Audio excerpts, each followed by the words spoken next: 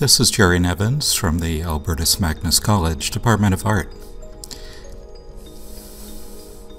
In the realm of visual storytelling, few artists have left an indelible mark quite like Gordon Parks. He was born in Fort Scott, Kansas, came, overcame adversity to become a pioneering photographer and filmmaker.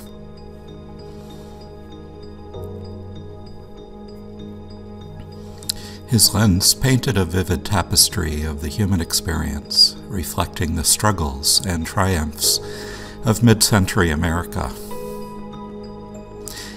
This was a period when we were struggling to get out of the Jim Crow era. Parks was more than a photographer. He was a storyteller using his camera to amplify the voices that needed to be heard.